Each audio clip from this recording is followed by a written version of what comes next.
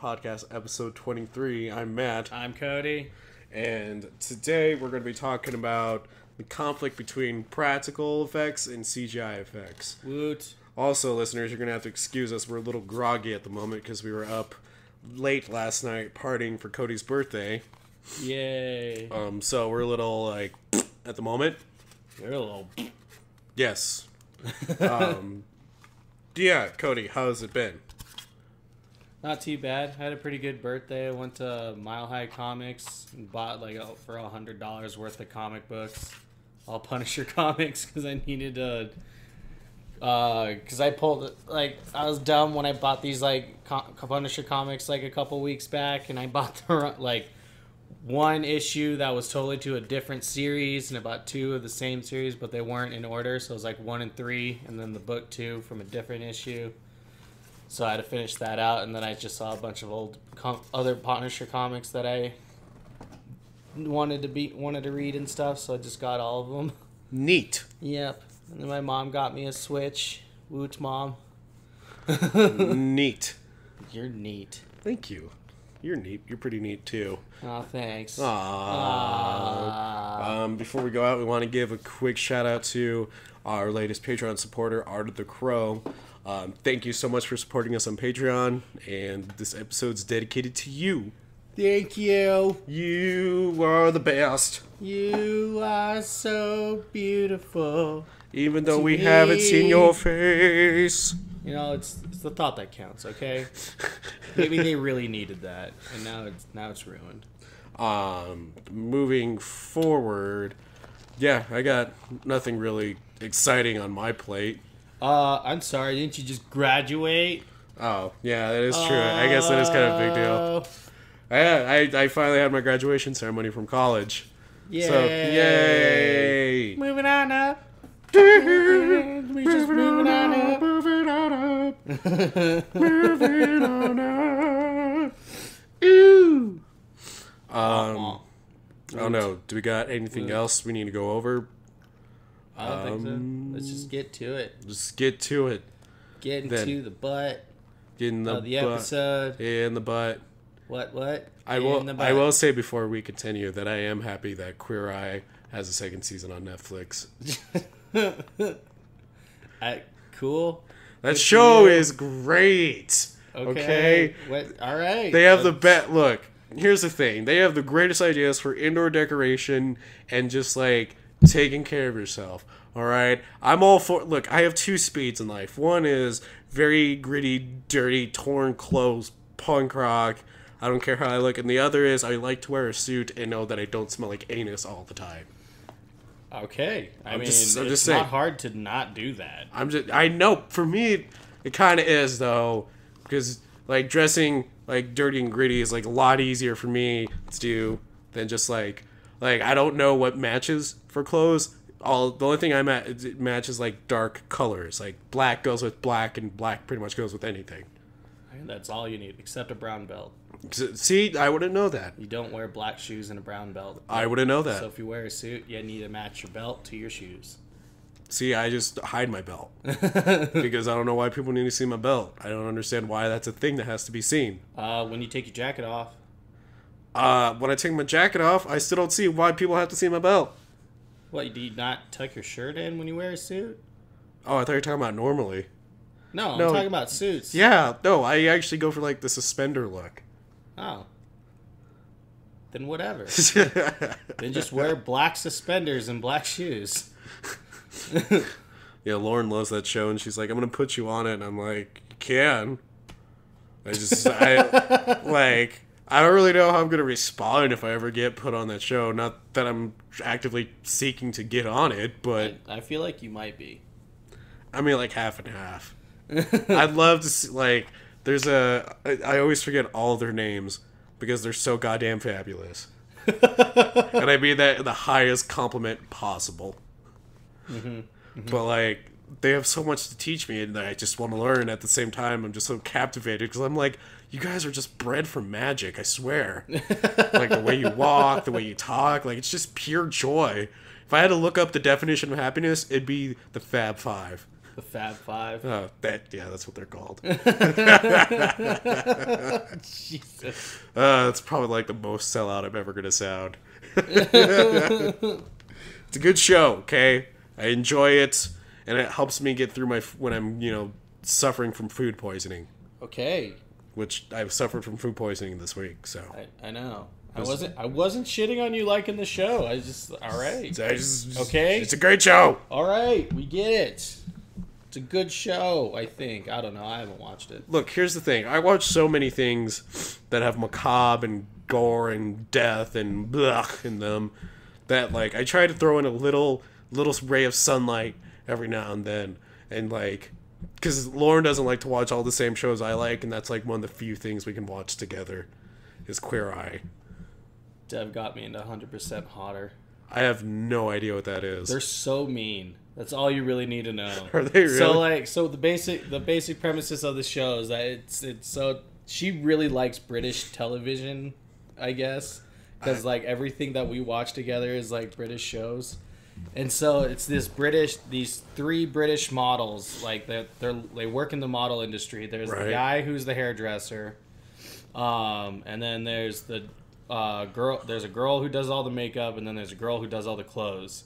And so pretty much, these people nominate their friends who have horrible, horrible fashion. oh wait, is this on Netflix? Yeah, it's on Netflix. Oh, I think I've seen this. Oh yeah, they have horrible like fashion sense.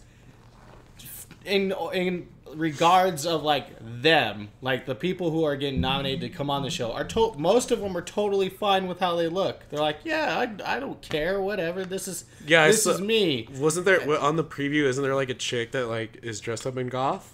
Yeah, there's there's a couple goth chicks that get thrown. What's wrong there. with that? Well, okay, so I actually that was the first episode I watched, and so the goth chick gets put on there. She has this hardcore goth makeup, but the thing is, is she's a goth model, and her friend said like, and her, she goes out and she doesn't do it all the time. Like she doesn't dress goth all the time. She does it most of the time. But so her friends like she does all this like crazy hardcore goth makeup out when she goes out and about. Nobody likes looking at her. She's actually really pretty and blah blah blah. And so like she goes in front of these three model people and they're like, "Oh my god, you are horrible." Like they're so mean to them.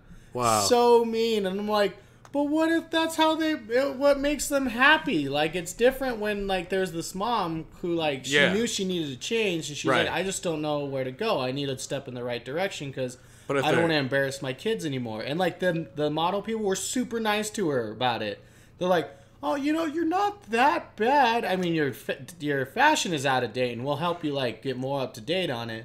But like some of the people that get knocked on there, they're such assholes, and I laugh so much because like they pretty much tell this person that like you're a piece of shit for dressing the way you are, and they show the picture of them of how they're dressed on the show. Like they get introduced in the show to a Yeah. bunch of people, like random people in the crowds, and like on the streets and stuff. And they rate them on an, on a scale of one to ten, and most of them start off at like threes and twos. And then they do this whole dress over, and they're like, "You are now 100% hotter because I picked it all out for you." Jesus. Yeah, I just thought the goth one was funny because the goth girl is just like, I mean, I like it, but I'm gonna go back to the way I was. I was making money by being a goth model. I don't care if people don't like me on the streets. I'm making Skrilla. You think I give a fuck about you plebes? Yeah, and so like, and then they're like, yeah, and, and then they show like After Effects, like, because they're supposed to send them pictures, at, like the show pictures after like a month or two of being on the show. Yeah. like if they kept up with their fa- uh, fashion or if they went back to their old ways. And the goth girl, and like the announcer on the show is like, yeah, she just uh, like very disappointingly too. Like she just uh, she decided to go back to the way she was and everything, and it showed her goth pics. And I was like, they're not even that bad. Like they're not terrible. Like the I I agree when she came on the show, she had this all this like huge black makeup, like looked like someone tore her mouth open and shit. I was just like, I mean that's a little much, but the rest of her outfit was like whatever. I think it's cool. Yeah. And I was like, okay. I mean, you don't have to be such an asshole to her. Like, just like, all right, well, let's try something different instead of, oh my god, you're horrid. Let's get you into something else that I like because I apparently work in fashion. See, that's why I like the Fab Five. They're like constructive criticism. Yeah. No, they just like make them feel like shit, and then they dress them. They're like, see, this looks better. and, like you can see like some of the some of the people that are on there, they'll see their new outfit and like some of them are like, "Oh my god, this is great. This is awesome." And then there's a couple of them you could just see it in their face like, "I don't like this." Like it's nice, but I don't like it. This outfit makes me want to die. yeah. Like there's this one gay guy. He was uh he's called a tweak, and so they turned him into an otter. So an otter is just a tall, skinny gay guy. So like you know, there's bears, there's otters, and there's twinks. Of course. I, didn't know about this otter. That was a new term to me. I was like, huh. All right. And now we know. Yeah. Knowing's half the battle. G I J. Okay. I I don't know if we can actually say that on here. I don't know. I don't know if we'd get in trouble. The more you know. Anyways, all right, let's get into this. So, Yep. so we, we decided to do an episode talking about what's better in horror, uh, practical effects or CG effects, um, and we also posed this question on our Twitter and our fa- uh, excuse me, our Facebook. So I'll go over the Twitter first. I tweeted out, "Hey everyone! For our next Monday episode, we are talking about which is better in horror, practical effects or CGI effects. What is your opinion, and what do you prefer?" And uh, from Punk Rock Ian at Punk Rock Ian, he said, "I think it depends on one, what kind of story is being told, and two, what kind of budget is available." Personally, I like practical effects, but CG is okay if it looks decent. We need more people like Tom Savini, which I completely agree. I do too. And then from our latest Patreon supporter, Art of the Crow at uh, Brent Crow, it depends on how much time and money they have to do on SFX or PFX. Because when it's good, it's hard to tell if it's SFX or PFX, but when it's bad, it's easy to tell. As a digital artist, my preference would be SFX since it's a lot less money than PFX, but PFX has been around longer. And then from Anna at Anna Keeson, totally Anna. depends on the scenario and budget. CG is great for creating new worlds in the cinematic universe, but only when used correctly. When it comes to horror movies, I feel the practical effects do a better job creating a scarier, quote unquote, movie, but because it's more real. Hmm. So hmm. it seems to be on the Twitter general consensus. It depends on the type of movie that's being made for it. Yeah. What And about our Facebook, Cody? our Facebook, uh, James posted, I like practical effects more, especially in a low budget film. Uh, the Mad Pooper, Aaron, she said, Oh, oh, oh, the less CGI, the better. I am a thousand percent in love with practical effects. Smiley face. I don't know. Should we throw in Mackey's? Mackie said, Well, if it's a real snuff film, you don't have to worry about it then. Winky face. Oh, got- You got told down the trolling, Mackie. I mean, I guess that's not the worst trolling we could ever receive. No, I mean he did make a callback to our uh, one of our more recent episodes where we talked about snuff films. So I guess it's kind of cool. I don't know. I think he commented on one of our posts or something, being like, "Yeah, you better mention me." Relax, Mackie. Jesus, your enthusiasm is definitely inspiring, but God, yeah, and uh, so uh, so the consensus on Facebook is just practical effects. right? So And so the way we divided this up, listeners, is that we decided to uh, do it uh, separately. So I took on practical effects, and Cody took on CG effects. So we're gonna start off with uh, practical effects first, right? yep, So I'm gonna go a little bit over, you know, like we normally do, history and how it's done. Um, so special effects um, or practical effects is a special effect produced physically without computer generated imagery or other post production techniques. A staple in action movies is the use of practical effects such as gun wounds, fires, and explosions. And prosthetic makeup is part of practical effects and the way prosthetic makeup is done is or is created is the process of using prosthetic sculpting which is molding and casting techniques to create advanced cosmetic effects. Prosthetic makeup was revolutionized by john chambers in such films as planet of the apes and dick smith in little big man the process of creating a prosthetic appliance begins with life casting, the process of taking a mold of a body part to use as a base for sculpting the prosthetic. The process used uh, to. Uh, oh my god, I'm losing my place, I'm sorry. The process used to us, uh, I'll, and I always have a problem pronouncing this word, Eleginate, eleginate eliginate, A L G I N A T E for the molds, but recently silicone safe rubber has been used um, instead. And then once a negative mold has been created, it is promptly filled with gypsum cement, most commonly a brand called the Ultracal 30, to make a positive mold. The form of the prosthetic is sculpted in clay on top of the positive. One of the hardest parts of this prosthetic makeup is to keep the edge as thin as possible. And I got all this uh, from Wikipedia. Um, and so, um, you know, if you've ever watched, have you ever seen a, what is it, Face Off? Yeah, with uh, with John Travolta and Nicolas Cage. No, I mean the show. but- Oh, you're talking about the movie. I was like, why? I was like, wait. why does that have to do with it? And I was like, when was John Travolta in Face Off? No, I'm talking about the show where like they had it was like a bunch of Oh, makeup artists. yeah. Yeah. So they did that a lot in that show, and there was also another show on Sci-Fi called Monster Man that I was Mm. I'm really sad never came back, and it was uh, this I always forget what the guy's name is, but he was known to do a lot of like awesome effects for like low budget horror films, Mm-hmm. and like. He like they would show, bring you into his shop and show you how he would make like giant sharks and monsters and gore. Like he even did one for like Wee Man when Wee Man was working on a horror movie. Huh. I don't. oh god, that was disgusting. Yeah, seriously. I don't know if that movie ever came out, but all I know is it had to do with aliens. It was a weird episode. um, but so yeah, the, the uh, with this being said, there's obviously a lot of work that goes into practical effects, and it does take like an actual like artist hand to pull it off really, really well. I mean, you know, just just thinking of, I think probably one the one movie I know that's been, you know, synonymous and huge to these practical effects is the Evil Dead series. Yeah. Um, not the remake, the original.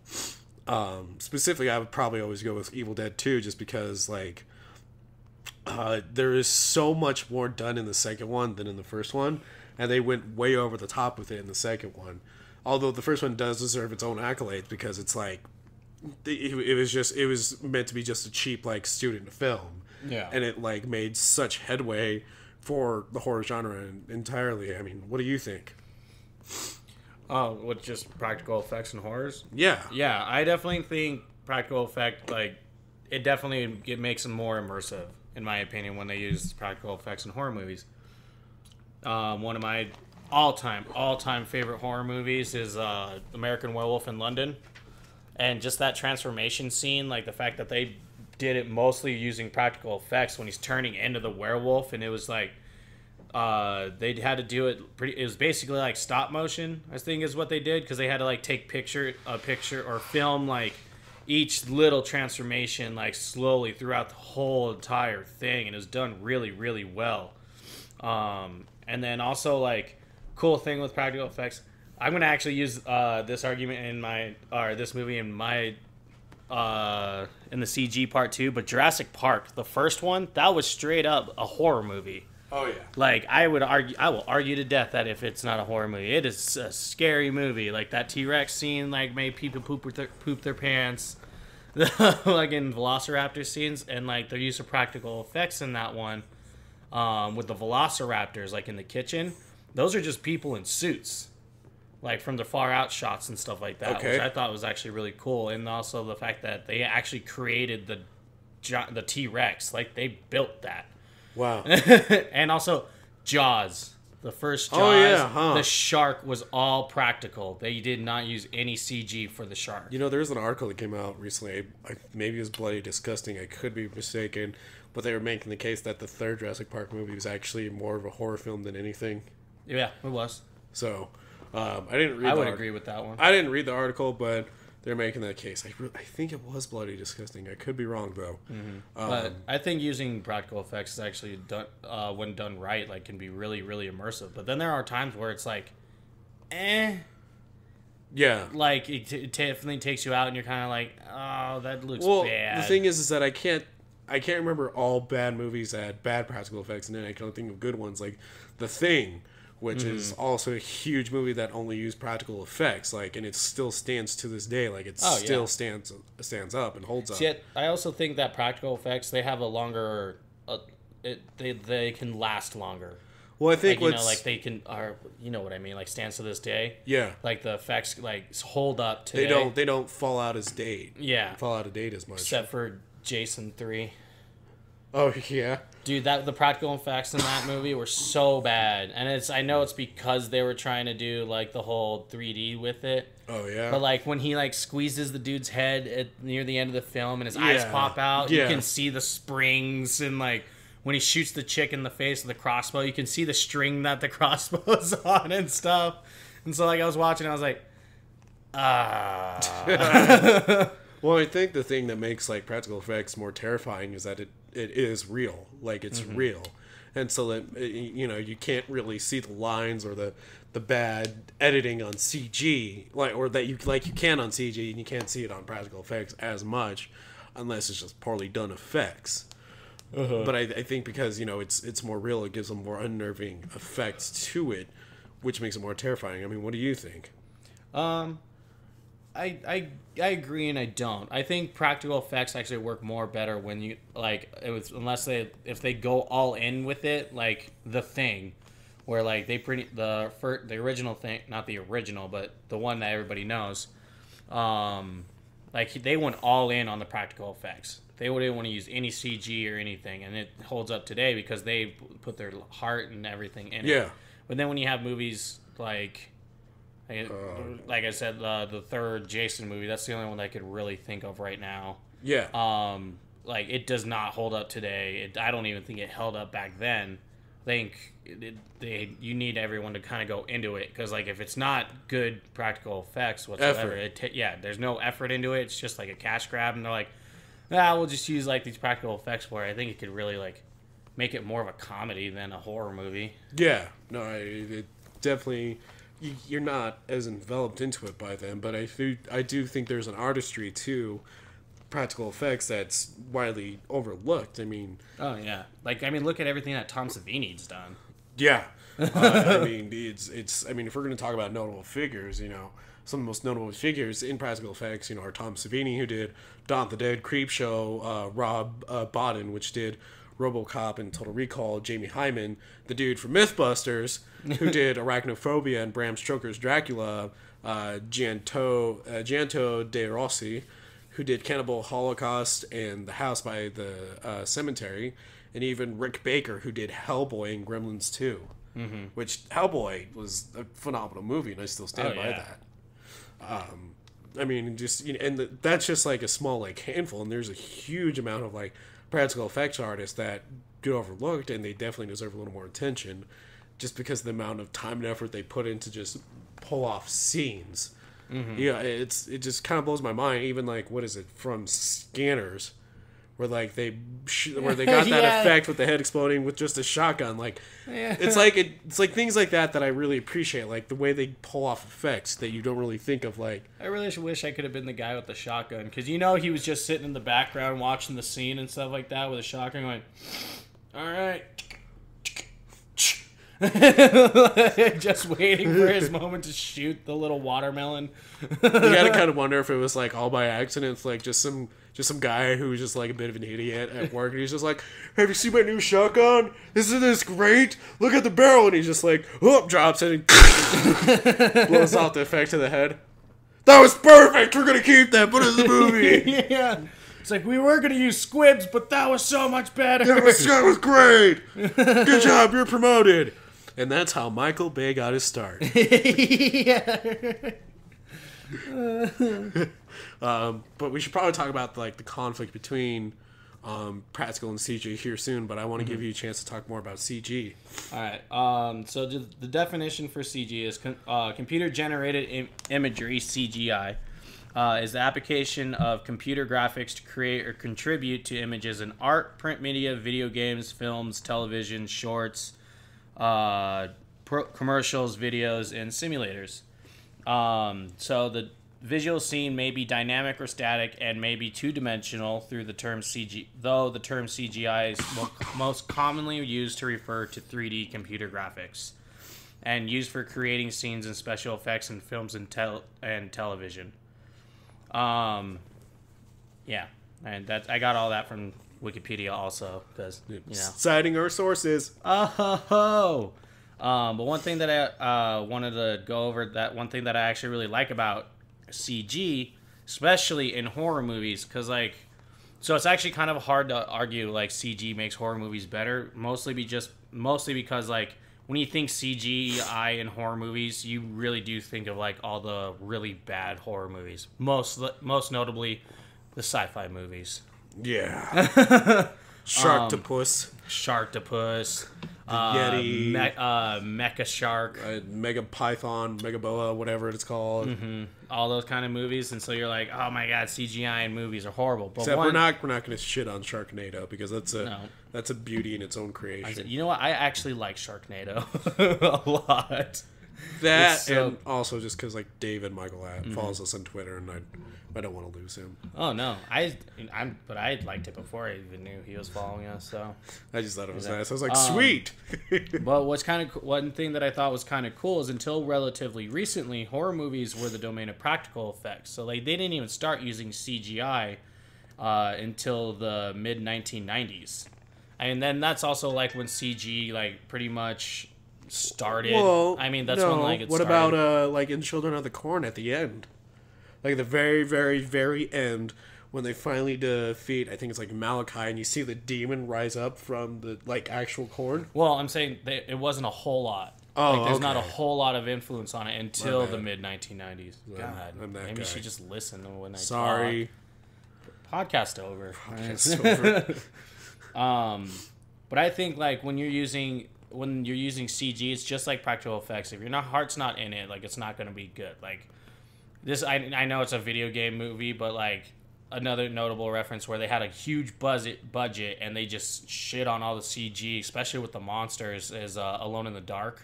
oh yeah. So bad. Yeah, that so one. bad. That one's a bit rough. Mhm.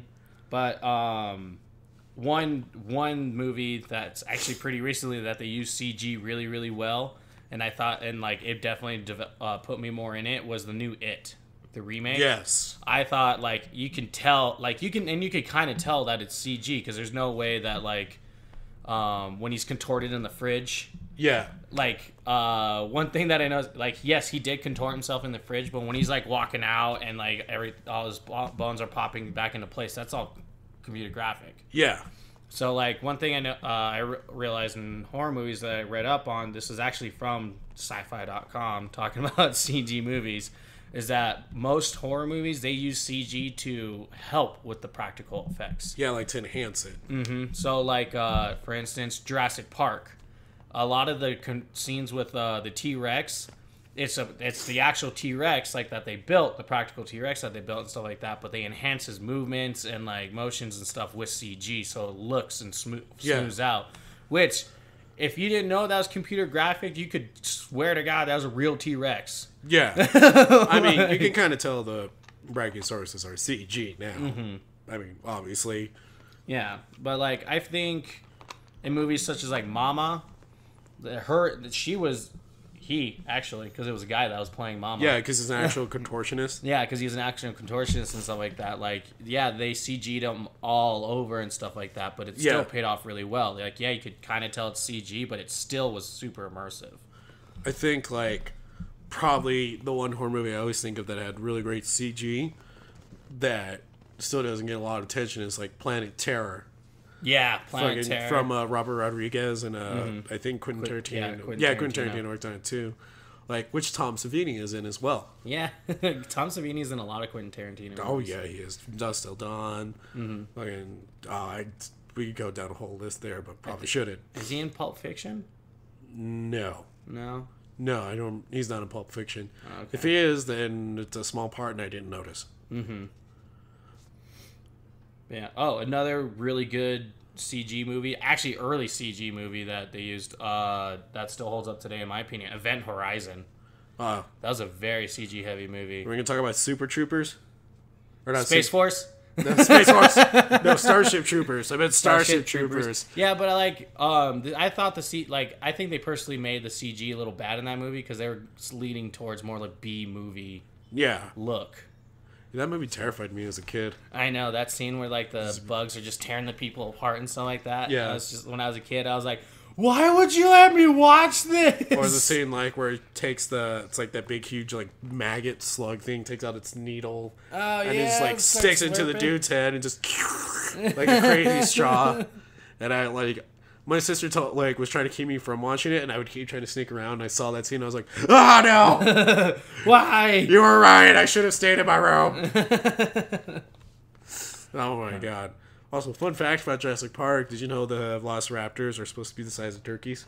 Yeah, they're actually using the Utah Raptors. Yeah, I thought that was cool. Yeah. Anyways, actually, I um, just got done telling Dev and my mom that because we Ah. went to the uh, on my actual birthday on Wednesday. We went down and we went to the uh, the dinosaur little dinosaur dinosaur ridge, Oh, okay. and so we went through the small museum, and then there's a picture like there's a model. Like a big model of the Utah Raptor in life size, like what they believe the actual size of it is. Yeah, it's like and twenty feet long. Yeah, and it's the T and it's the Velociraptor from Jurassic Park. And like Dev was like, "Hey, look, I know that one." I was like, "Actually, fun fact, I'm going to be this guy today." Here's what you don't know. the Velociraptors in Jurassic Park are actually modeled after after Utah Raptors, and because the Utah Raptor wasn't as feathery and looked more like this. And the reason why they called it Velociraptor is because that sounded more menacing than a Mormon raptor. Can you just imagine at the fucking end where the T Rex is like just like eats a turkey one and then another turkey one's like yeah. just like fucking jumping on the T Rex. It's like ah, this is less hurtful and more annoying. Roar." the entire time you're just hearing. Get off me! Oh, my small arms are gonna be the death of me. Big head and little arms. Um, but yeah, and I think another like good movie that uses uh that uses CGI really well, actually, especially like in the older movies, the Nightmare on Elm Street movies. They're really CG heavy, but they did a good blend of like CG and practical effects. Like they would use the it. whole blood coming out of the bed. Yeah, the blood coming out of the bed. I thought that was a great, great use of practical effects. And like, fun fact about how they did that is that they actually modeled the entire room upside down. So when they, instead of like a geyser, they're actually that's actually um, on the ceiling, and they just had a bunch of people like standing on top and just dumping buckets of blood through this geyser. So it was like actually falling onto the floor, which was the ceiling. Um, so they could create that entire effect um, which has a good reference for like uh, practical effects. But I think one good uh, Nightmare on Elm Street movie that they used was a mix of like CG and practical was actually uh, the Dream Warriors. Which I will argue that I think that one's still the best. Dream, you know, someone made a life size uh, sculpture of the snake Freddy from Dream Warriors. Oh yeah, Yeah. nice. But like, I think that is good like use of like special effects and visual and uh, CGI. Like when he sticks his head out of the, um, out of the TV. When that one chick wants to be like a, a movie star or whatever, and like before he goes, prime prime time, time, bitch. Like that's like a good mixture of CG and practical effects. So like Yeah. one thing that I uh, that when people say is like I hate CG in horror movies. One thing you got to know is that a lot of the movies that like pride themselves on practical effects actually use CG to enhance it. Yeah. So So um, I think there's I think there is a need for both of them because like if because if you were to watch Jurassic Park and they did a hundred like yes they had the budget because it was Steven Spielberg. But if they didn't have that budget and they were still going with all practical effects, like you'd think they would probably turn out like that those fucking like cowboys versus dinosaurs, like wait those old movies with the claymation dinosaurs and stuff. I see what you're saying. Yeah. And And Go ahead. no, go ahead. Oh, I was just gonna make fun of it. Oh, okay. I was like, and also like when you also think about it, the newest Godzilla movie, because I know like all the original Godzilla movies is just a dude in a suit, Yeah. and the only CG they use is where he's breathing fire. Creature suit. If they used a creature suit for the newest Godzilla movie, it would have been nowhere near as good as It it, would have been pretty funny. It would have been horrible. Like I think the fact that Godzilla was CG'd in that movie was fantastic. Yeah, Godzilla's meant to be a CG monster for sure. Yeah, so I think that w- there's like there is a need and a call for CG when it's like certain movies and stuff like that. Like a lot of space movies, yes, Aliens did a really good job with using practical effects for the most part and everything. Yeah. But like, I also think there is the need for CG in those type of movies, like Event Horizon. So Yeah, I mean, well, and even Starship Troopers, like if that was all practical effects, that would have been so bad, so bad. I mean, it's Starship Troopers, so I, I, it was one way or the other, really, with that one. I know. uh, well, t- if we're talking, if we're going to talk about the conflict though between practical and CG, um, again, I got this from Wikipedia, but uh, Tom Woodruff Jr. and Alec Gillis, two experienced SFX artists from uh, Amalgamated Dynamics near LA, share show, uh, share what they see as the middle ground on the subject. In an interview, they explained that most movies use, out of necessity, a combination of practical effects and CGI. They see CGI as a tool that can be utilized in a good way or a bad way, just like practical effects. And Tom Savini, the most well known SFX artist in the world, basically, um, states they still use the makeup uh, guys to design creatures, and that's what they work from. I don't think you'll see makeup effects design the creature and. Oh, sorry, I lost my place. Da, da, da, da, da. I don't think you'll see makeup effects guys hanging out in the corners with signs that say "We'll do effects for food." Um, which so obviously they're making a point here that CG relies far more on practical effects to get the job done. I mean, it, it's I, I, which I, I don't fully disagree with at all. I mean, I think that that is a very good point. I mean, because it's it's I can only imagine how hard it is just to create something out of thin air just from CG, and I feel like it's a lot easier just to use CG to enhance something that's already made. yeah. Um, I mean, it's I'm trying to think of like a good movie that this works with, off top of my head. Um, Where, wait, for what? Was CG enhancing? yeah, and where it didn't do good when it was just CG by itself. Um, I think that goes back to like the really bad, bad Yeah. sci-fi films. Yeah, there's the bad sci-fi films. Oh, also the 2000 Godzilla. Oh yeah, huh? the Matthew Broderick one. Yeah, Ferris Bueller's Day Off Yeah, where they had versus Lizard Man. he had a really bad day off. yeah. Yeah, But no- like I, that's that's another one I think of like a huge high budget film and the CG was just bad. I mean, given it was tainted because like they're trying to call him Godzilla and that was not Godzilla. no, no, and they actually like came out with a film where like Godzilla killed that Godzilla. Yeah, know. that it was lizard. Godzilla 2000 or War of the Monsters, something, Something like like that. that. Where Godzilla just like went and fucked up all of his enemies. Yeah, and that one he's just like, Yeah, he like because that one like pops up and starts chasing him, and then Godzilla literally just kicks it in the face into a building, and then just shoots it over and over and over again. never to be resurrected again. But yeah, I think that's that's another version uh, example of like really really bad CG, and then you compare it to the newest Godzilla where it's like really great CG. Well, and I think the thing is, is that movie companies go with CG over practical, um, because I feel like it can be done a lot quicker. I think it'd be done quicker, and you could, when you think about it, you can try, you can get a lot of like, especially when you're dealing with giant monster movies. Yeah, Like for instance, Pacific Rim. That is a heavy, Oh, yeah. heavy CG movie, and it's beautiful. yeah, Like beautiful. I think that movie will still hold up like years down the road. Yeah. th- I mean, the first one still holds up right now. I mean, it's not super old, but still. But I think that's why a lot of you know uh, production companies go with like CG just because it's easier. It's I I don't know if it. I feel like it might be more expensive. I would think so. Um, but it, it's easier to go with that, and they get they can get more out of it for the type of movie they're going for. Where it's like practical effects, they kind of have to wait for it to be built and to make sure it actually works. And if it doesn't work, then they have to go back to the drawing board and redo the scene. Where it's like with CG, you can do it after the scene is already shot. like uh, one one good example is Jaws with practical effects going wrong, in a sense. They had to build like five Bruces Yeah, which is the name of the shark from Jaws, and they had to build five of them because the first one sank.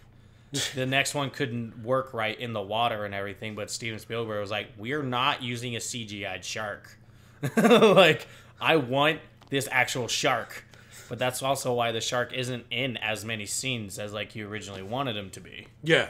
So like, I think that's also why there's the big headache of using practical effects. When like, yes, even though the Jaws movies like it ended up working perfect, like you know after all those shots and stuff, but they always had to do a lot of reshoots, and there was always the uh, they had to do a lot of reshoots. They had to do Yeah. a lot of retakes because the shark wasn't working right.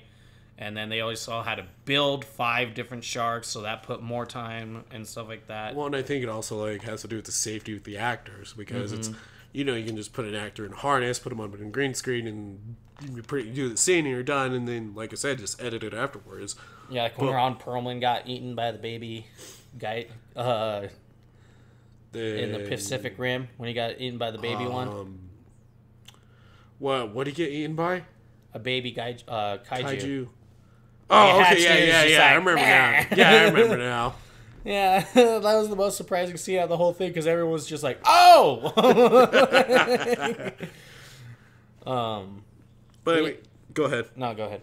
I was just gonna say because I feel like you do risk more of an injury factor with practical effects if it breaks down on an actor. Mm-hmm. Like, um, I don't know if this goes into practical effects, but there's actually a famous actor, and I'm forgetting his name, who died on set when a helicopter actually did crash into him. Oh, for the the do you know what I'm talking about? the Twilight Zone movie. Yeah, I, I don't remember what it was. I don't remember what it was called. And I don't remember the actor's name. Uh, unfortunately, which I apologize for. Um, but yeah, like he had a helicopter fall on him, and he died in that actual scene. Or even um, with uh, Ben Hur, with you know the controversial horse deaths in that movie. Yeah. Um, all Jackie Chan's movies, all the times he broke his bones and stuff Yeah. like that. well, those are real stunts, though. No, I know. I'm just saying, like, Yeah, no, I get what you're saying. It goes with it. because like uh, Police Story, instead, I don't think CG was as like was a thing back then. But like when he does, when he slides down the pole through all the lights and stuff like that, Yeah, they like instead of sliding down a pole and then adding the CG effects of the lights blowing up and stuff like that later, where he so he wouldn't get burned and stuff like that. Like he just went and did it. yeah, So like yeah. I think that's another example of like practical effects being harmful. So I mean, Well, and also, uh, again, with Jurassic Park, the Velociraptors, they were just people in suits. And fun fact, when the Velociraptors are walking into the um, kitchen, yeah. you can see someone like have to push the Velociraptor up so it's standing upright. like it's actually in the final cut of the movie. You could like I see it every time now when I watch the movie.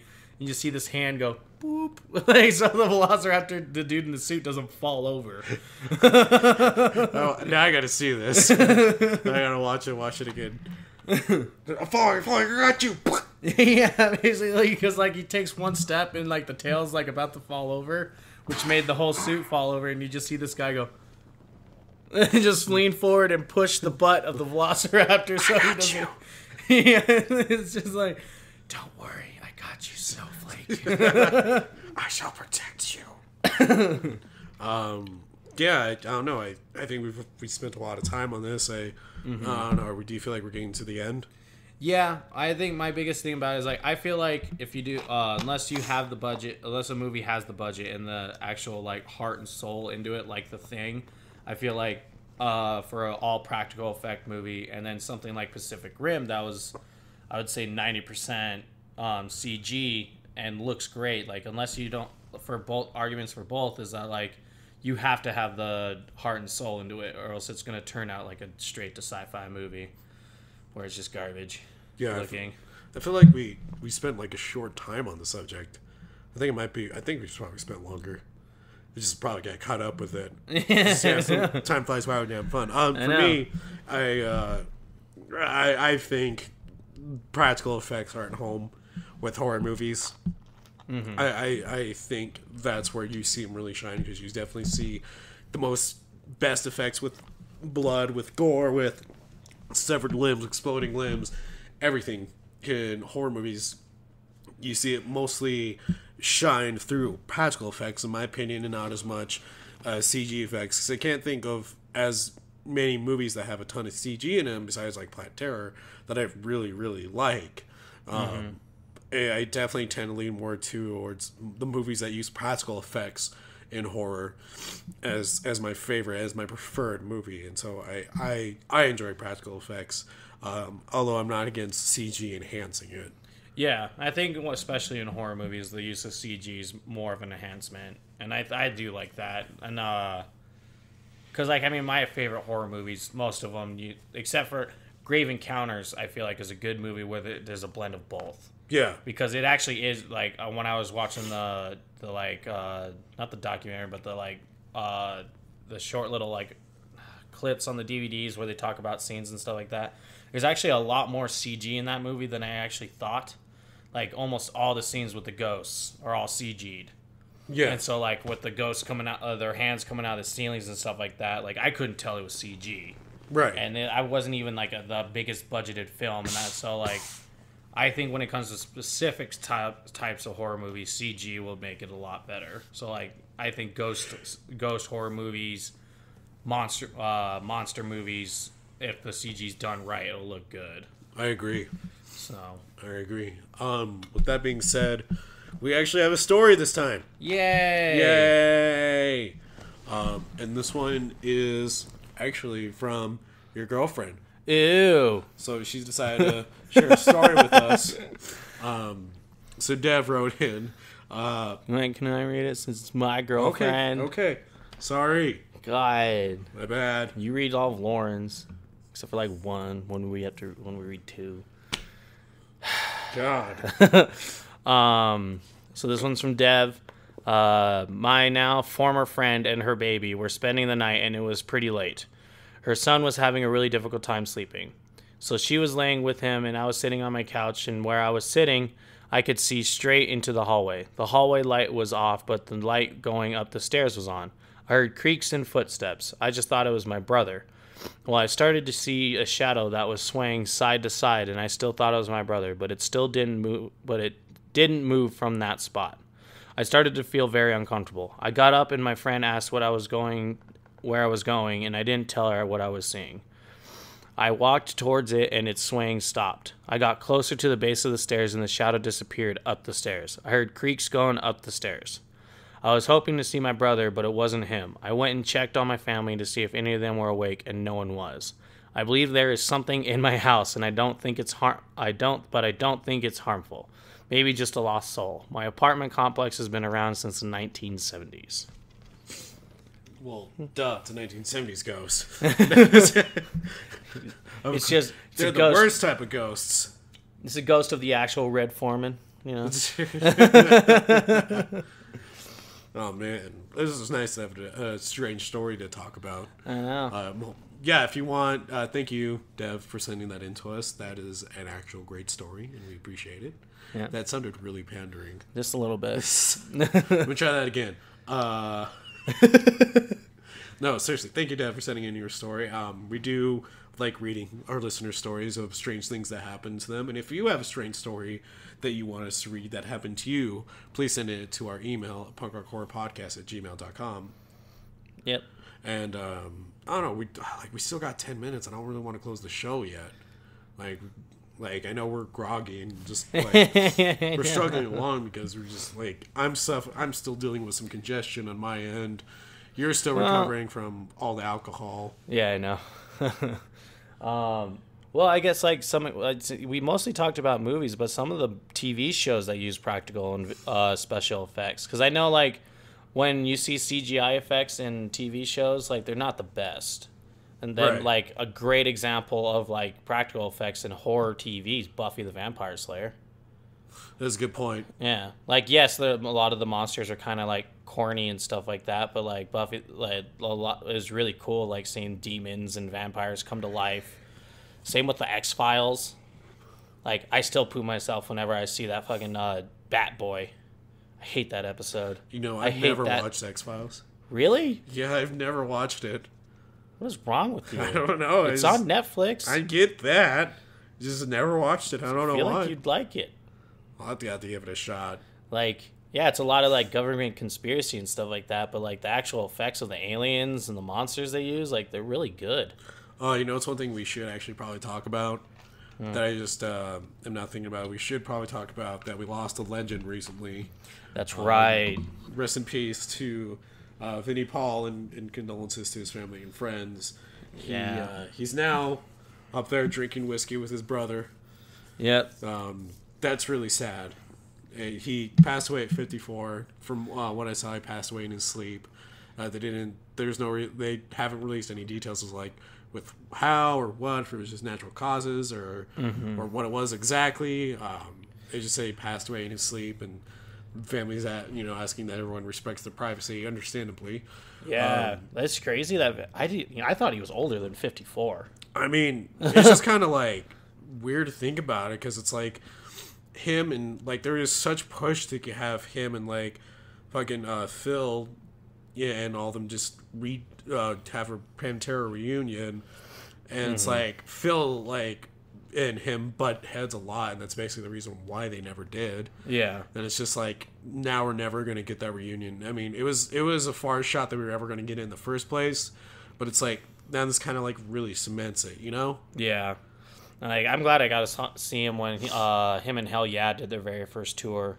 Yeah. Um, at uh it wasn't at uh the Family Values tour, and like it was just really cool seeing him because like I was I listened to Pantera all the time when I was little, and like actually getting to see one of my like drumming icons yeah. since I play the drums. Like seeing Vinnie Paul up on stage was insane. Yeah, he was a legend to like, he, well, not even just legend. He was an inspiration to like a lot of people, and like, he like you know, I, I even like in an interview, he was just like, you know, I'm just focused on music. I have no kids, I, you know, I have no wife, and this is just like, I, I, I don't know how old how old this interview is, but he's just like, I just focus on the music, and I just and I keep moving on to the next thing, and like, that's just like the definition of real determination in that industry.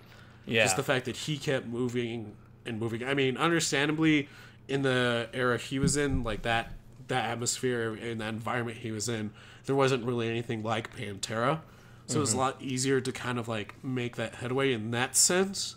yeah, As as for today, where like there's like a little push, there's a lot of pushback on current bands saying that they're not doing a good job of like keeping metal alive. Which I'm not going to get into that argument no, I think they are. but that that's just an argument that some like old metal artists are making. I mean, and just like Vinnie, he was just always a really chill dude. Yeah, Like I would read his like uh his advice columns in the Revolver, and like the one that I always remembered like was he there was a dude that wrote in like asking about like hey like I have trouble keeping within rhythm when I'm drumming. What should I do? And like Vinnie's just like fucking smoke weed.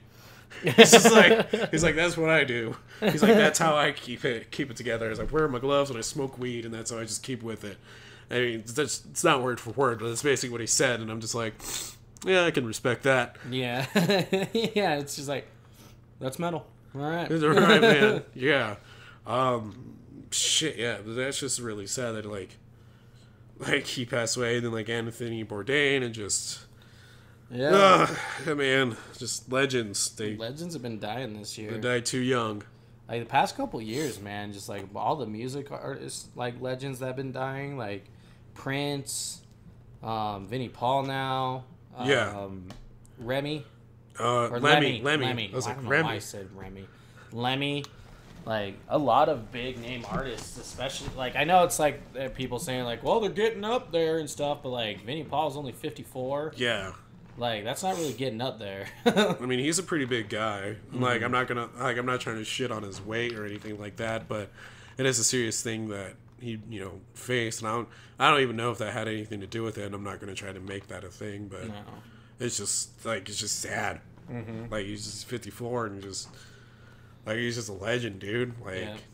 I don't know. Ah, it's just like you can't even really imagine like Hellyeah moving on without him. But No, especially because like Hellyeah was kind of his project. yeah, for the most part. Because like I know, I know. I mean, I mean, it was basically just Mudvayne with Vinnie Paul, but still, like I, I'm fairly certain that was his project. I think he's the one who contacted them to get together. I don't know. Like I'm not 100 percent certain, but I know Vinnie Paul was m- the biggest reason why Hellyeah succeeded so well because everyone was so excited to see him back in the limelight and stuff Yeah, like that. Drumming they- again. Yeah, when they came back around, like you know, they're like, yeah, it's great to see him like finally back around after Dimebag, like Dimebag's de- uh, death and everything. Yeah. So, and yeah. like everybody was like, I remember when they got together, everybody was just like, I don't even know if he's gonna really do that good of a job. He might be rusty, and he's just like, ha fuck you. Yeah, he's like, smoke weed every day. He's like,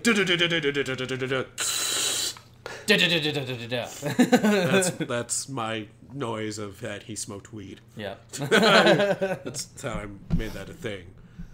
Yeah, but it's just oh man, I just just can't wrap my head around it.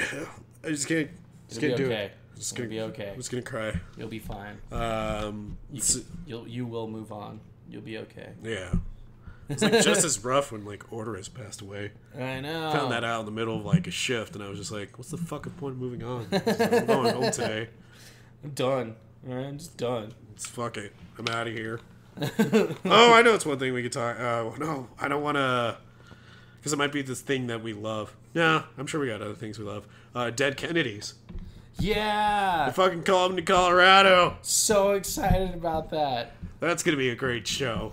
Mm-hmm. Oh my god, we gotta go see them. Yes, I want us to go see that so bad. I think that would be such a fun fucking show. Yeah. Um, yeah, I guess to ra- uh, wrap up this episode, we just want to say that we are starting a new segment where we're interviewing punk bands now.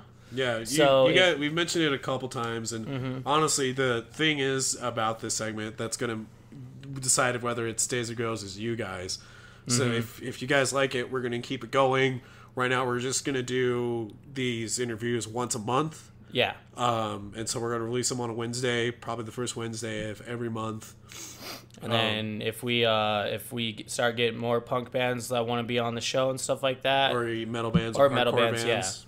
yeah. Um, eh, we'll interview you and we'll let you know when your episode's gonna be out. And it's not gonna be like we're only gonna interview you guys once a month. Like it's not like one of those. It's like if No, we're just going to release those Rele- episodes yeah. once a month for now. and then uh, once we start getting more headway with that and start getting more bands, so we'll start uh, releasing them as our Wednesday episodes for our release weeks. So uh, yeah, we'll uh, we'll give it a test. We'll see if you guys like it. And if it seems like you guys enjoy it, then we'll keep it going. And if not, then well, we gave it a try. Yeah. And um, yeah, so uh, to keep keep in mind, we're not gonna ditch our horror talks and our horror movie reviews. We're still gonna No. do that.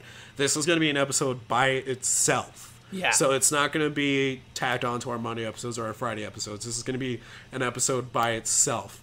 And so we're going to try and include music from these bands so you guys can check them out and their links as well. Um, So yeah, if you know any punk bands or metal bands that would like to come on the show and do an interview, uh, give them our info and send them our way. yeah, and if you are a band, uh, the way you can reach us is through our email at punkrockhorrorpodcast at gmail.com. You just send us your info and a link to your music, and we'll go from there. Yeah. Um, with that being said, if you want to keep up with everything that we normally do, and you know want to be involved in our Monday participation quarter, um, do please reach out to us. quarter. Did I say quarter? Yeah. Corner. Sorry. corner. On our Monday listener participation corner, uh, please like us, follow us on Facebook and Twitter at official PHP and Punk Rock Horror Podcast on Facebook. Um, Um, Instagram, uh, Punk Rock Horror Podcast, and hashtag PHP Podcast. If you have any strange stories or want to send your band info to us, please send it into our email at punkrockhorrorpodcast at gmail.com. Um, if you want to support us and you like what we're doing and you know you want to help us out, please go over to our Patreon uh, over there, Punk Rock Horror Podcast on Patreon, um, and think you know consider becoming a supporter. We really appreciate it, and also please continue to send us those your your guys' kind reviews and comments on YouTube and everything, and we really appreciate it. And um, yeah, I, I I got nothing else. Oh, I'm, I got none. All right. Uh, well, you can listen to us wherever you can listen to podcasts. Um, you can check us out on our website. Again, it's not updated.